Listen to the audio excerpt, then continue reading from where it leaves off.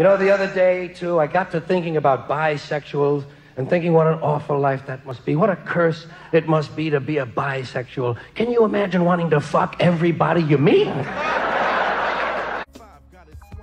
my only problem.